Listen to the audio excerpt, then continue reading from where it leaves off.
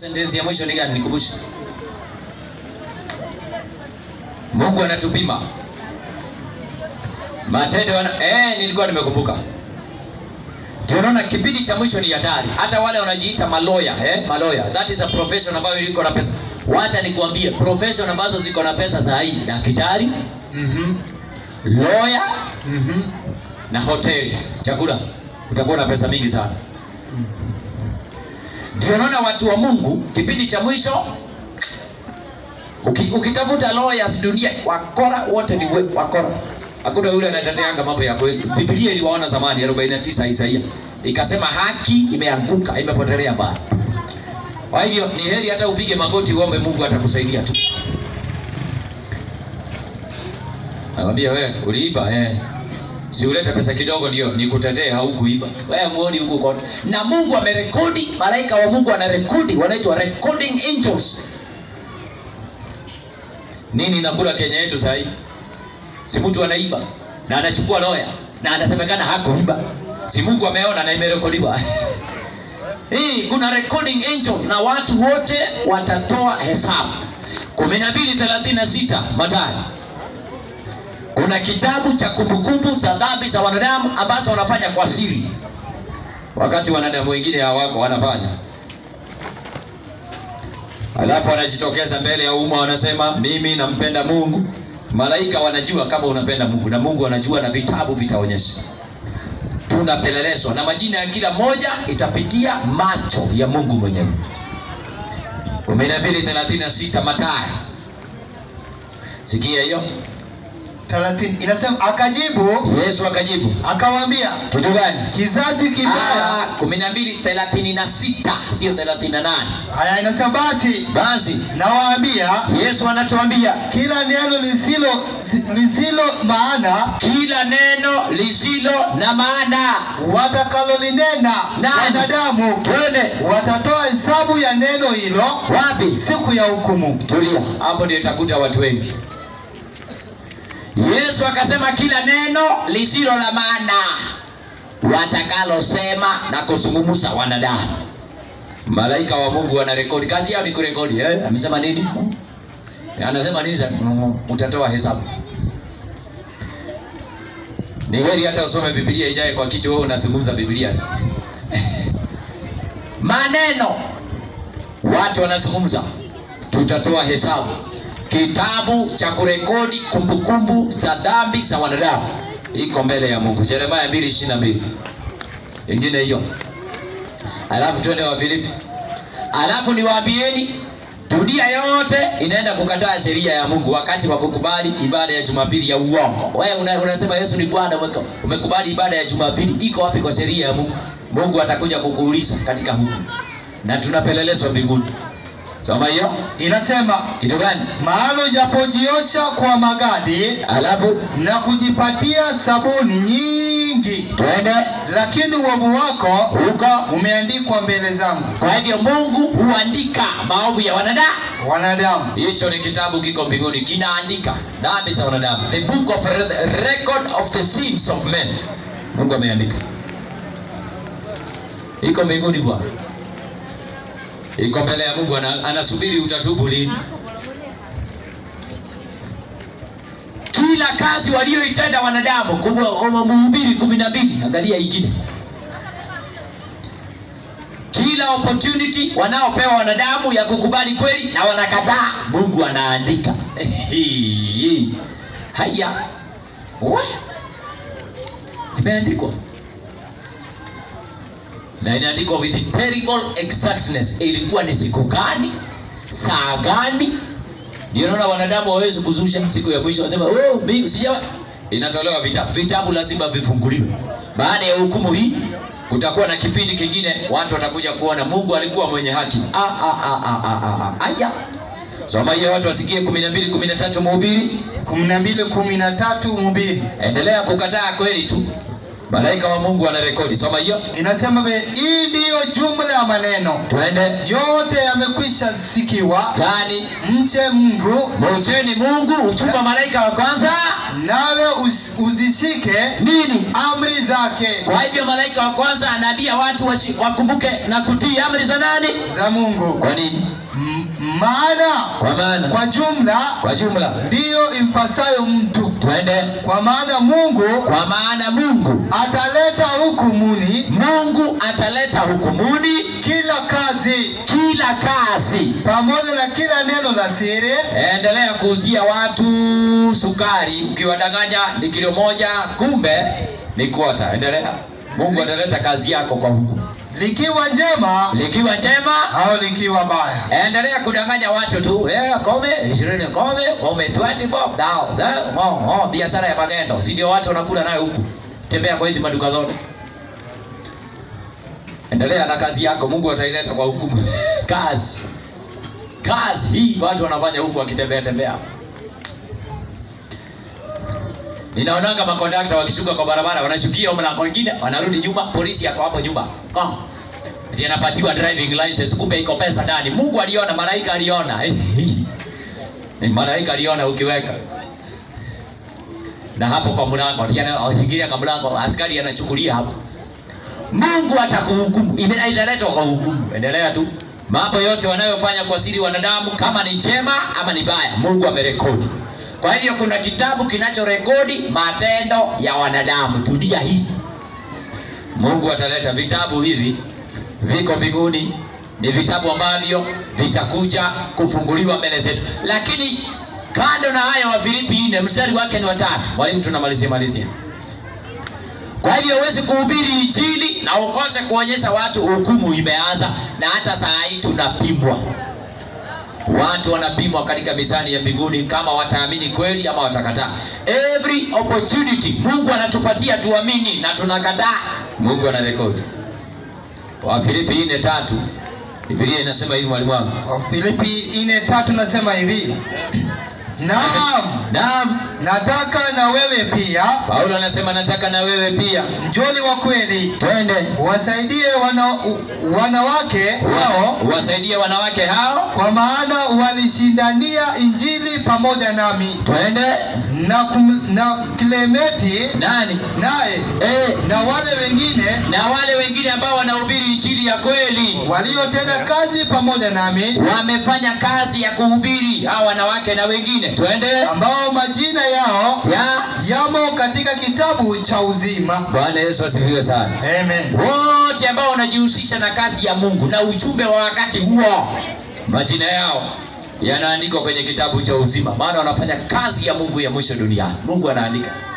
Ni watumishi wake wa kweli. Endelea kuendelea kwa Kanyali na ng'anga. Endelea huko. Kana kwamba wako na ujumbe wa kweli. Mimi sijakukataza kwenda endelea kwenda yesu akasema akawaambia hata mitume. Luka 18 mstari luka 10 18 akawaambia alafu nasikia pius mwiro anasema rudia nyuma yangu. Sema bwana mungu nimeamini leo. Futa jina langu kwa kitabu cha kifo. Kwa hiyo kitabu ni wewe ni yeye aliweka mbinguni.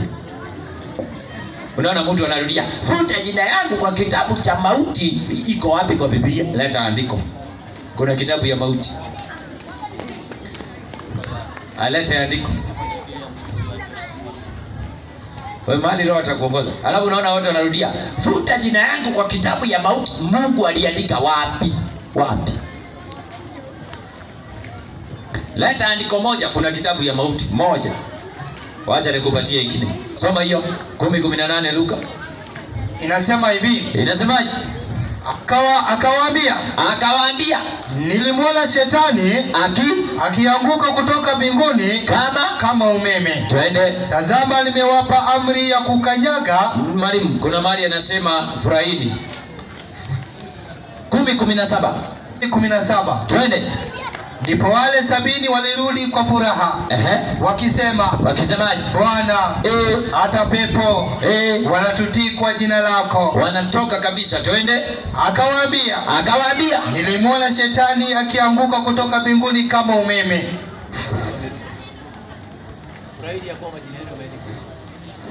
Shehe, kuna kitu unaruka, sijui sijui, lakini wewe angalia, furahini ya kwamba majina yenu yameandikwa mbinguni. Kuanzia 17 eh, sijui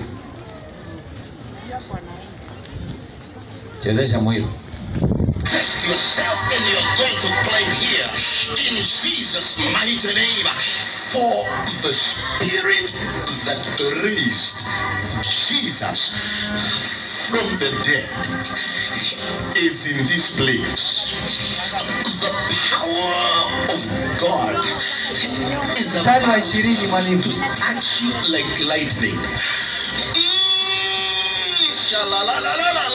Sholololobo, sholololobo, shandededededededededede, kakabababa, shalala. Jelelebo, katanamaya, ndedededededededede, kakakakayandos. Jelelebo, yandanamaka, shandelebos. I sense the power of God moving miracle. Receive the touch of God. There's something unusual is happening. You take the power of God now in your body. Receive the anointing. You receive the anointing. And the Lord sets you free. It's a new day. Yeketika yentanana. Yentanana. Yentanana. Yentanana. Yentanana. Yentatata. Yezizizizi.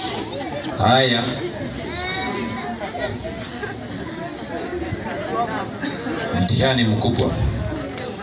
Hatuna muda mwingi hapa. Anazungumza lugha ambayo wanasema ni lugha ya Roho wa Mungu, lakini ukiangalia inakuwa mtihani. Mungu akasema, Isaia, mwalimu wangu, Niko mstari wa ishirini mwalimu. nimesikia Kijaluo hapo, Ehe. anasema iye mtatata. Umesikia? Nimesikia mwalimu. Eh, ni kumaanisha umeshiba sana. Umeshiba sana. Hiyo lugha ya kwetu wale wanaelewa, nimemsikia sikia. Eh, eh? nana? Lakini ah, lakini unajua hao ni wazungu, wazungu hawajui. Hao wanadhania ni lugha ya roho wa Mungu. Aya, soma hiyo. Lakini msifurahi kwa vile pepo wanavyowatii, Twende. bali furahini kwa sababu majina yenu Yako wapi? yameandikwa mbinguni. Kwa hiyo Mungu anaandika majina ya wote wanaoingia katika kazi yake ya kupeleka ujumbe wake wa wakati. Malaika wa kwanza anasema mwabuduni Mungu wa kweli, musiingie kwenye ibada ya mnyama na sanamu yake. Huyo ni malaika watatu. Musiende upande wa mashariki, kubalini amri za Mungu. Na ninaona hakuna mahali Mungu aliwahi kusema kama unapenda Yesu, sijui huko Kimasai, niliwahi kusikia watu wengine wakimba kama unapenda Yesu sema ye ye ye ye ye ye. Kama unapenda Yesu sema Kimasai. Kimasai. 14 15 Yohana. Hakuna mahali Yesu aliwahi kusema hivyo. Kitu ambacho walisema ndio hii. Soma hiyo. kumi na nne kumi na nne kumi na tano mwalimu Sawa. inasema hivi Inasemaje? mkinipenda Rukeni Kimasai. mtazishika amri zangu Umeona eh? Mm. Sasa Mungu akasema watu watashika amri za amri zake na ndio sababu Pastor Lai alijua ukweli akasema hivi, na kesho atahubiri NTV kanisa yake ya Jumapili kesho iko kule Mombasa, JCC Jesus Celebration Center. Sikia vile aliambia washiriki wake, tunamaliza maliza. which did not come from God. Sunday worship is of the devil. If you didn't know, read my lips. I'm telling you the truth. I'm not a prophet of doom. I'm a prophet of God. I'm telling you, this thing about Sunday is what has weakened the church more than all the demons, more than every Satan, more than all the witches. Sunday worship is is the greatest witchcraft of the church. Never was it started by God. Read your Bible. Never. The church, when it was born, did not meet on Sunday.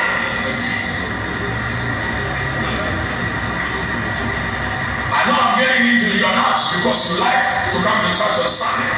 I'm going to help you or discourage you. If you are discourageable, you will be discouraged because you're going nowhere. But if you're going somewhere, you will be. Something will jump in the inside of you and say, I'm living wrong. And I'm not going to live like this anymore.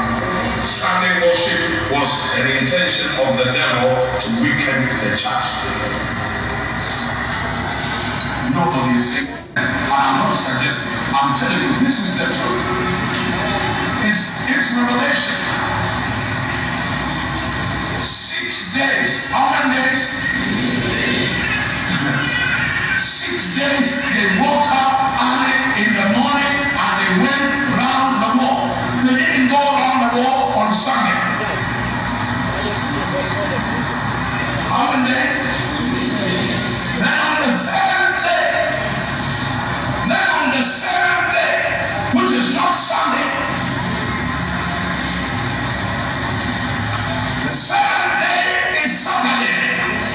Not Sunday.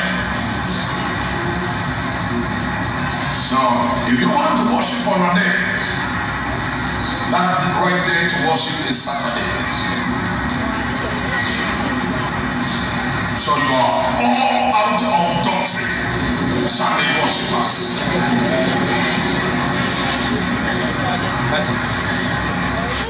Sasa rudi rudi kwenye slide aya mwisho. Aliye na swali aniulize, tufunge tuite mwito, tufunge mkutano. Nilikwambia tuko na vitabu, hatuwezi kuhubiri sana, lazima tuende mradi pia tuhubiri pale chini kuanzia kesho. Kwa hivyo hapa wacha tuite mwito wa mwisho.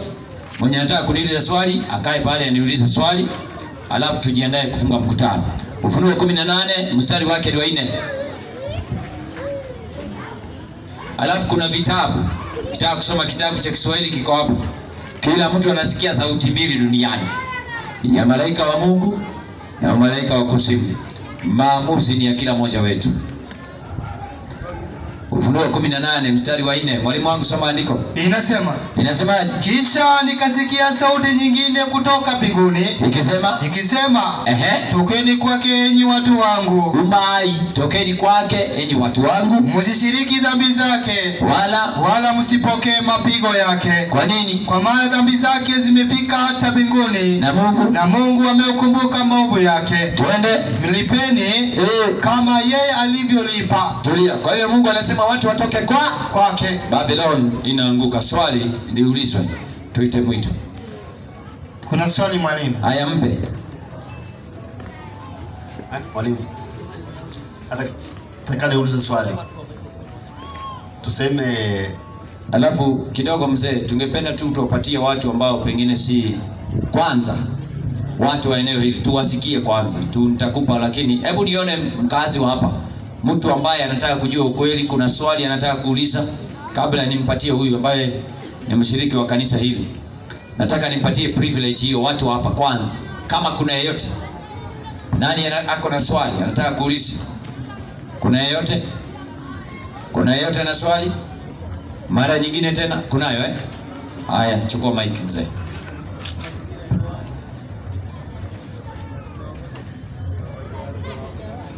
Mimi naitwa Mbogo. Swali yangu ni je, mnasema Jumamosi ndio siku ya Sabato, na kuna mahali maandiko yanasema tusijajue na masiku wakati wa ibada wa kuabudu. Ah, asante. Kaa tu hapo. Wakolosai 2:16. Wakolosai 2:19 inasema, ni mwalimu wangu, inasema wala Wewe wacha bwana. tatu kumi na sita. Eh, soma soma je hiyo. tatu kumi na sita neno la Kristo Wakolosai umesema 2:16. Haya, mwalimu wangu, inasema hivi, Ehe. inasema basi Eh? mtu asiwahukumu nyinyi Kwa katika vyakula twende.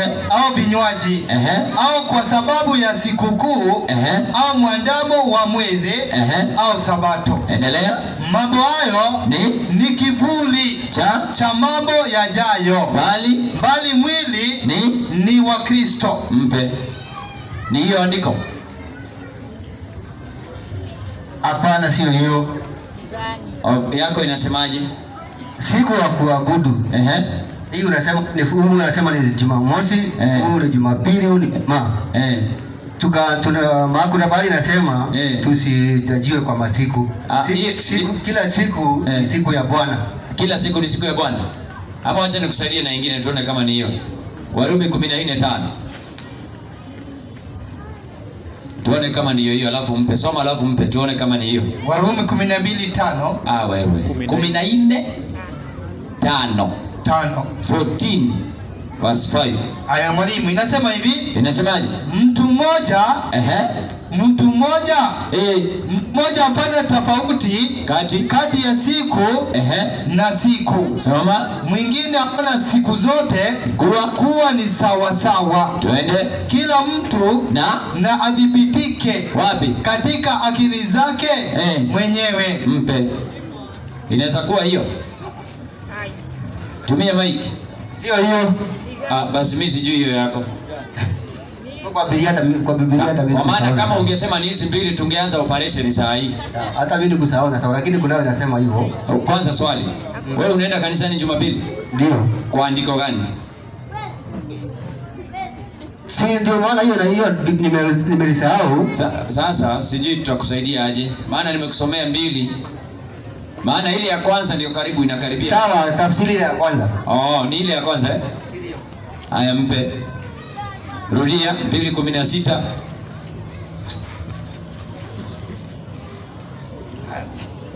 Inasema mwalimu 2:16 nasema hivi, ngoja kidogo hebu mrudishie mic. tunafundishana tu kwa muda mchache alafu tutamaliza sawa Ndio. hayo maandiko tuliyosoma wakolosai na hiyo warumi nani ameziandika Ni Paulo. haya hebu sikia vile tunaonywa kwanza kwa ajili ya maandishi ya paulo eh? Mm -hmm. ningependa tuanzie hapo sawa petero wa kwanza wa pili tatu kumi na tano Petro wa pili eh, pole pole tu 3:15 eh, sikia kwanza maonyo. Inasema hivi, nini? Wakiish, wakiacha njia iliyonyooka. subiri angalia kama ni petro. Umesema Petro wa pili.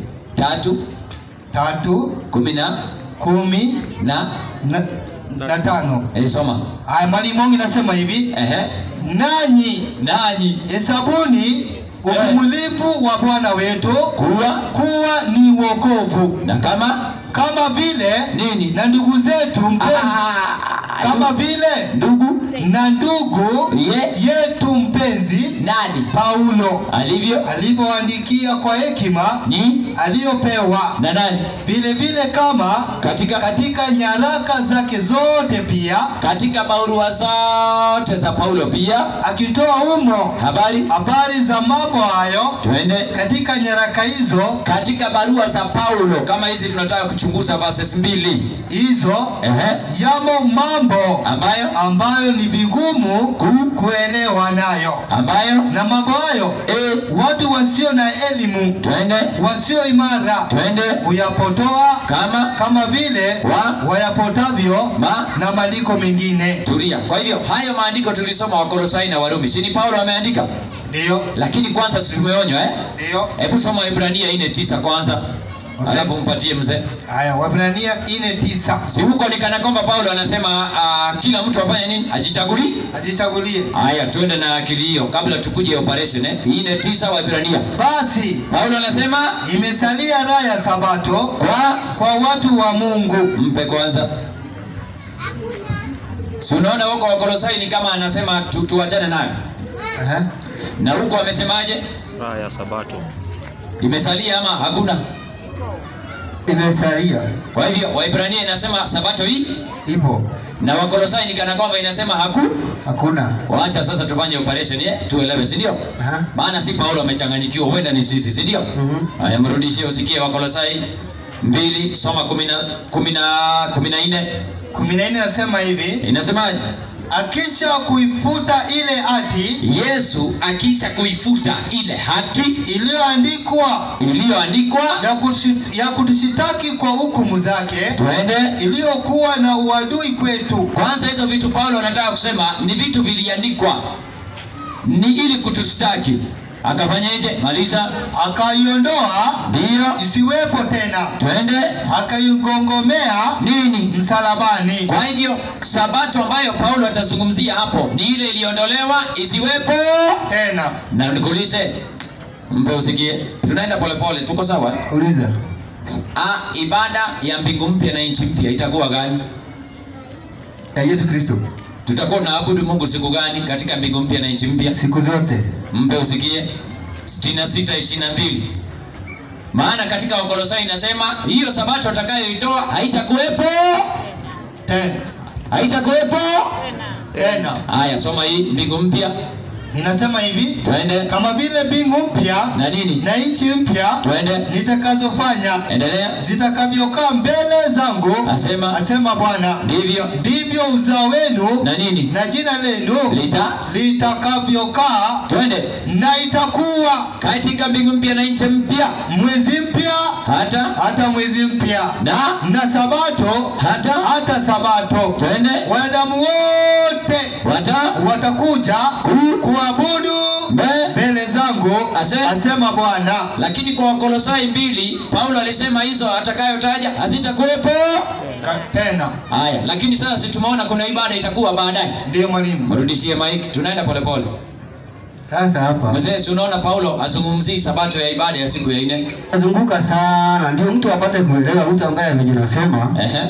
andiko moja tu linatosha. gani ati ati ati. Andiko moja inafanyaje ndio mtu apate kuelewa, Ehe. sio lazima useme maandiko kumi. mpe usikie. Mpe usikie. Sasa hiyo hiyo si kweli. Hatuwezi kusoma andiko moja. Ukisoma andiko moja mfano. Saa hii uki, ukiomba alafu uende usubiri mic si yako. Ukiomba saa hii alafu uende usome andiko moja useme ki- yuda mahali inasema kisha akaenda akajinyonga. Hata wewe utaenda kujinyonga. Si hiyo ni andiko moja umesoma kuna andiko inasema kisha akaenda akajinyonga. Si ni andiko moja umesoma? Mpe usikie maana sasa ah, lazima tutoke hapo. haya tumetoka. Mwenye anaenda Jumamosi na mwenye anaenda Jumapili Ndio. na mwenye anaenda Ijumaa, wote wanahubiri injili ya Yesu Kristo. Ati, ati Kwa mfano, ni kusema nasema na kuuliza swali, Oh, sawa. usiseme nini. okay sawa Na kuuliza Eh. wewe unaenda unaenda uh, Jumamosi, sawa mimi naenda Jumapili, Ehe. yeye anaenda Jum. Ehe. wote wanahubiri Yesu Kristo, uongo hiyo nime oh, unasema sasa swali ni gani wote wana Yesu Kristo. Unakimbia, mbona unaambia? Ati Acha swali, mike inakatakata eh? Acha niulize swali. haya. Ah, wote eh. Hawataona mfalme mbinguni, wa, ma- wa, Jumamosi ndio ataona mfalme mbinguni. mpe usikie. 46 sita kitabu cha Luka. Wale wataona ufalme wa mbinguni ndio hao ameniuliza. Eh Luka. Luka? Si- sita arobaini na sita ati arobaini na sita sita. Sita? Eh, nimekuwa Suleiman bwana, inakoaje? Sita arobaini na sita Luka. Sita arobaini na sita Ama ungesoma hata Mathayo saba. Hebu wacha na hiyo, rudi matayo saba. Ananiuliza na ametaja vizuri Ijumaa, Sabato, Jumapili. Sasa sikia mzee, saba ishirini na moja Yesu alisema hivi Mathayo. inasema hivi mwalimu Inasemaje?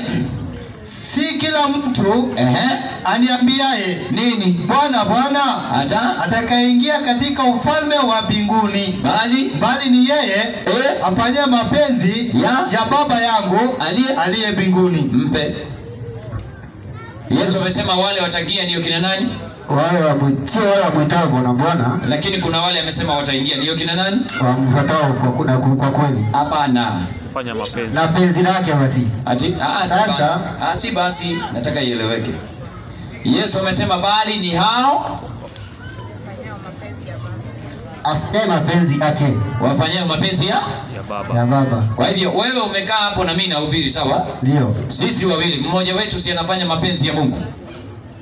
Sio lazima nilikuwe wewe unahubiri kufanya mapenzi Ah, sijasema ni mimi. Ukiwa hapo ulipo, Sikusema sulia, sikusema ni mimi. Nasema mfano. So umetaja Ijumaa, Sabato na Jumapili. eh, Swali, tutajuaje tunafanya mapenzi ya Mungu? na mimi nitajuaje wewe ukitoka hapa kuna vingine unaenda kufanya? mpe usikie. Sasa umeleta ubishi, maana tuko kwa aya. Aya inasema si kila mmoja ataingia, bali ni wale wanaofanya nini, mwalimu wangu? mapenzi ya baba Ya. Sasa ndio namuuliza hivi, ndio sisi wote tupatikane pale? Si lazima tufanye mapenzi ya Baba? ndio Ndio namuuliza, tutajuaje? Hiyo ndio nimemuuliza, tutajuaje tu, tu, ndio tufanye hiyo mapenzi ya Mungu? Mzee, unataka kujua ukweli? Sasa ile kitu ambayo iko hapa, Ah, ah. sisi wa Kristo wenyewe Subiri, Sikiza. subiri kwanza. Unauliza swali na unataka unataka kuuliza kuuliza, lakini unataka kuuliza kwa nini? Subiri. Hii majibu unanipea Eh. haipelekana na jibu yangu venye mimi na- venye nakuuliza. Aya, uliza swali. hii ya kuniambia sio wote wamwitao bwana bwana Eh. inakuuliza habari ya Ijumaa Eh. Jumapili na Jumamosi Eh. wewe unahubiri unamhubiri Yesu Kristo Eh. atakaenda kanisani kienda mbali basi tahubiri huyo huyo Yesu Eh. huyo alikuwa jana kwa mfano kanisani alikuwa anahubiri huyo huyo Yesu Swali. Watoto Eh. ambao na wanamhubiri ule Yesu wa kweli eh, hawataenda kufanya maduguni Mpe na usichukue mic sahi. Mpe sasa nikujibu vizuri. Kwanza Yesu amesema ni wale wanaofanya mapenzi ya Baba. Baba. Zaburi 48 mstari wa kumi. Angalia mapenzi ya Mungu.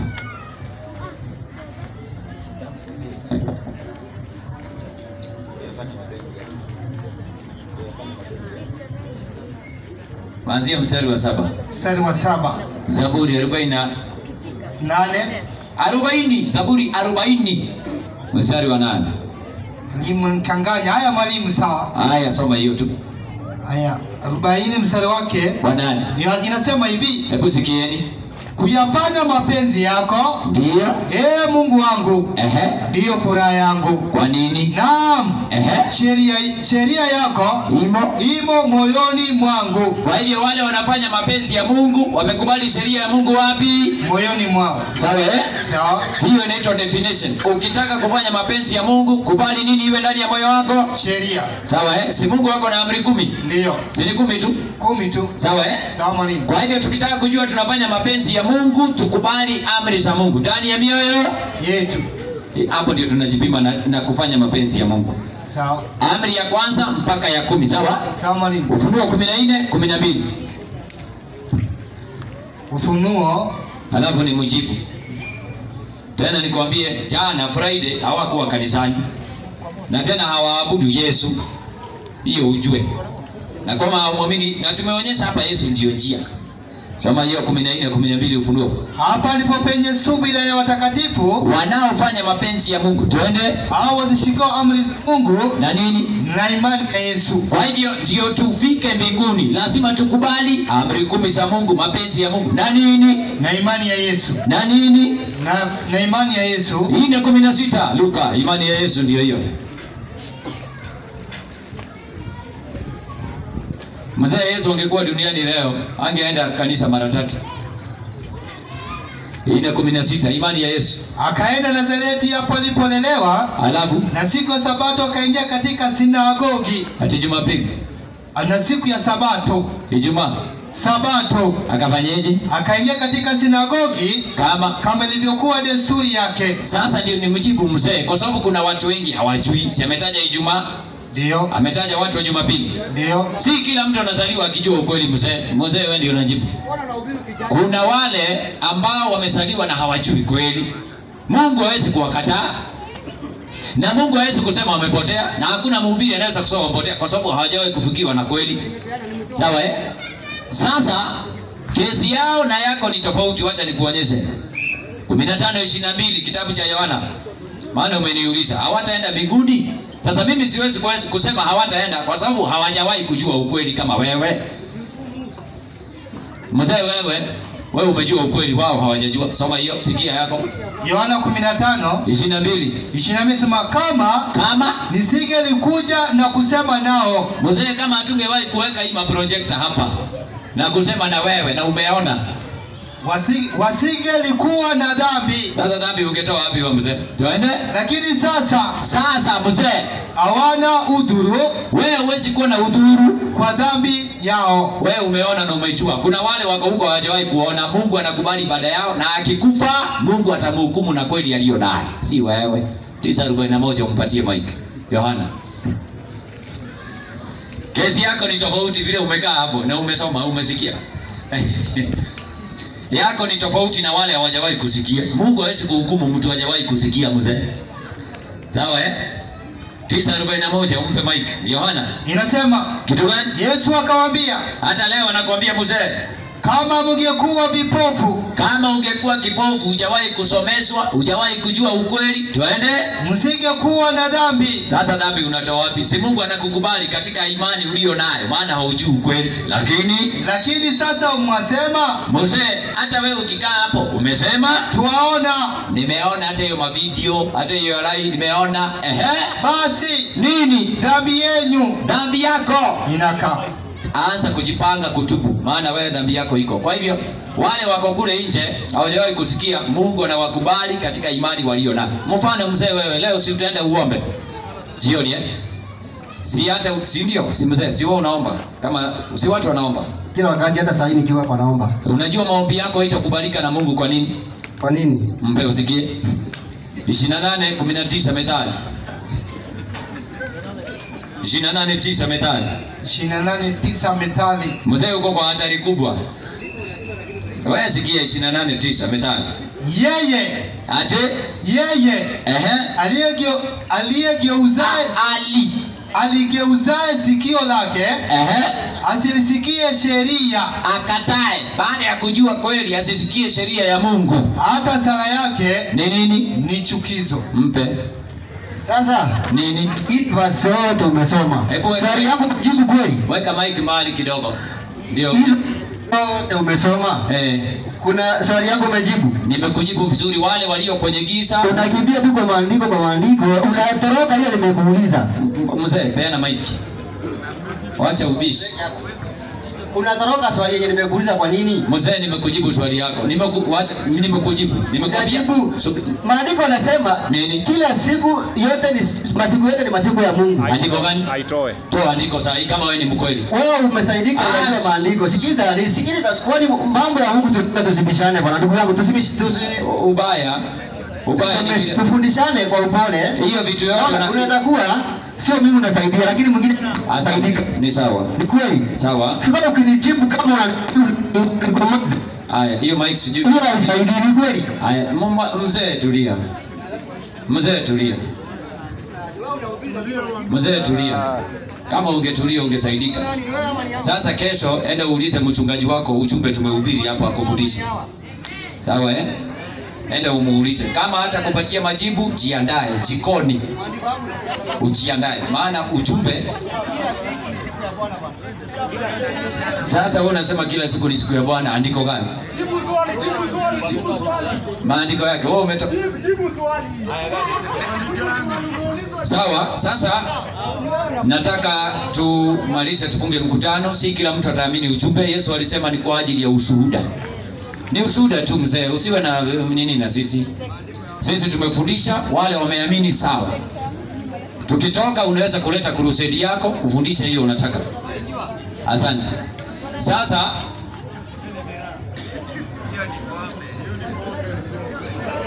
na nimesikia unauliza swali na umekunywa pombe, sijui. Unajua mimi sijakukaribia, isikuwe ni ukweli, maana singekuruhusu. Asante. Kwa hivyo Yesu amesema wale ambao hawajawahi kupata kweli watahukumiwa na kweli walio nayo. Kama hujawahi kupata kweli, mzee, tumemalizana. Enda enda tu kwa nyumba, wacha tu. Wacha tu enda tu mzee, wacha wacha. Wacha tumalize kwa amani. Enda ulale, Mungu akujalie neema. Asante. Mwalimu, Eh. Haya, swali lingine, karibu swali la mwisho, alafu tufunge mkutano. Na mwalimu, Eh, barikiwa. nilikuwa nataka kuelewa Eh. Katika Ufunuo kuna maandiko nilisoma Mm. linasema hizi hizo siku za mwisho Mm. kutatokea watu wawili mm. ambao watazunguka pembe zote za dunia safari zao mm. kuna tafikia mahali dunia haitawaamini alafu ita, kuna mahali kuna nchi wataenda watauliwa. Sasa mimi nataka tu kuelewa hivyo. Kwanza nashukuru sana kijana, hilo somo ni ndefu, hatuwezi kuliweka lote kwa uwanja na hautaelewa nikianza, masaa yameenda sana. Hiyo ni Ufunuo sura ya kumi na moja. Kuna watu wanasema Elijah na Musa watakuja baadaye, watahubiri, na ndio hii hapa. Hata mwalimu alikuwa anaweka video tu, sijui mwalimu, somo hilo ni ndefu. Hebu hebu tusikie, wako wapi? Oh, hii oh, ati sura yake ilibadilika ikatoa mashahidi wawili. Sasa wanaonyesha watu mashahidi wawili watakuja baadaye. Owori ni mmoja na huyo mwingine nani? Ni Owori wawili eh? Yeye anasema sijui, mimi simuelewi huyu nabii kabisa. Na niseme watu ambao watakao amini mambo kama haya. Wacha turudi kwa swali ya ule uh, kijana. Swali lako nitajibu kwa kifupi tu. Ufunuo kumi na moja context yake ni historia iliyopita kuanzia mwaka wa 538 AD mpaka miaka ya 1798 wakati serikali ya Roma ilikuwa inatawala. Hapo ndio serikali ya Ufaransa nayo ilikuwa inainuka. Maana ukisoma historia ya Revelation chapter 11 kila mtu anaweza kusoma. Inafanyika kipindi cha miezi arobaini na miwili. Miezi arobaini na mbili ni siku elfu moja mia mbili na sitini ambayo ni miaka kutoka 538 mpaka 1788 kipindi cha zama za giza dark ages na hapo katikati kunainuka taifa la ufaransa ambayo iliwaangamiza mashahidi wawili. Kwa nini wanaitwa mashahidi wawili? Yesu alisema wanaomshuhudia ndiyo kina nani? Tano thelathini na tisa yohana. Kwa kawaida wanaomshuhudia yesu nimekujibu kwa kifupi tu maana hiyo stadi ni ndefu mwalimu. Ninahofia. Ninahofia lakini huyu kijana nilimwona kwenye kanisa hiyo study inakuja wale wanajitokeza tutakuwa na study kama hizo. Hatuwezi kufundisha kila kitu kwa uwanja. Hebu soma 539 inasema hivi yohana. Mwayachunguza maandiko ehe. kwa sababu mnadhani kwamba unayo ninyi mna uzima mumo muna uzima wa milele. Ehe ndani yake. Twende na hayo ndiyo yanayonishuhudia kwa hivyo maandiko matakatifu yanamshuhudia nani? Yesu. Yesu. Na ni mashahidi wawili. Mashahidi yani agano la kale na agano jipya. Nimekujibu kwa kifupi. Maana ukienda ufunuo kumi na moja hapo kuna historia ndefu. Watu wanasema ni elijah na musa watakuja kimwili. Lakini biblia inasema ukisoma chapter hiyo kwanza inasema tukio hilo lilitokea wakati wa 42 months. Wakati wa miezi miwili mwalimu wangu ninaona muda umeenda mimi sitaki ku unajua tunaweza ongea mambo mengi hata watu. Mimi ninaomba hivi huyo kijana ana swali nzuri. Aha. lakini ninaomba hivi. Kabla mtu hajaenda maana masaa yamekwenda sana. Hiyo study tukiingia inaweza chukua muda mrefu. Na pia kuna powerpoint zake hapa tunaweza kuifundisha lakini hatuna muda nimemhurumia sana yule bwana aliyetoka maana tulipoenda wakolosai 216 akawa amekanganyikiwa maana waibrania inasema imesalia raha ya saba sabato na amekubali ni Paulo. Tena ukirudi Wakolosai ni kana kwamba anapiga. Sasa kama angekuwa mnyenyekevu, angesema mhubiri, nifundishe. Kama angekuwa mnyenyekevu, lakini tunaomba Mungu asaidie kila moja. Nina imani ya kwamba tumefundisha hapa majuma mawili na sasa tumemaliza, hatuendelee zaidi hapo. Nataka kutoa ombi la mwisho. Wote ambao wameamini ujumbe wa malaika watatu, njooni hapa mbele. Tunataka kuomba, tunafunga hivyo tu. Kama uko hapa na umekubali ujumbe huu, umekuwa pamoja nasi pengine kwenye ibada na ungependa kuendelea, tujifundishe. Pengine hukujitokeza jana na saa hii unataka kujitokeza, kuja. Simameni kila moja, tunafunga kwa njia hiyo tu. Hatuendelei zaidi hapo. Njooni tusimame na hawa hapa mbele, tunataka kutoa ombi la mwisho. Mungu awabariki. Sabato ijayo kutakuwepo na mafundisho kama haya, Ufunuo kumi na moja na mengine tu. Songeni wote ambao wamesema sisi tumeamini ujumbe huu, tunataka kuendelea kujifundisha. Pengine tungependa ubatizo wa maji mengi. Karibia hapa mama, barikiwa sana. Alafu huyu mama amekuwa rafiki yetu sana kwenye mkutano huu. Bwana akubariki. Wapendwa, tunataka kutoa ombi la mwisho, alafu tufunge virago. Sijui kama wale watumishi wamepanga mkutano wa mradi wako hapa, wangetangazia watu mkutano unaenda wapi, ndio tungejua hasa mradi mradi hapa chini. Sijui ni wapi hasa. Unaweza kuchukua nambari ya simu, unaweza kutupigia simu. Tuko Nairobi hii, mahali ambapo mkutano unawekwa, unaweza kuja. Chukua mahali, unaweza kuandika nambari ya simu, maana hatuendi kupumzika. Unaweza kuwa Madhare, unaweza kuwa Kayole, unaweza kuwa Kariobangi, ujumbe huu tu.